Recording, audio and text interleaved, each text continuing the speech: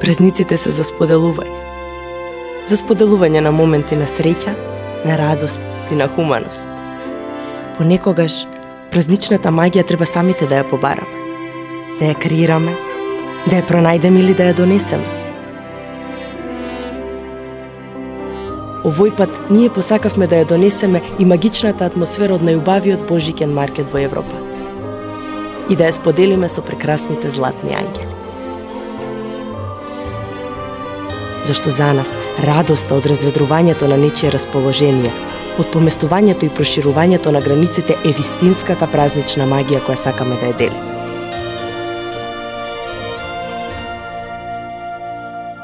Халкбанк. Важни се луѓето.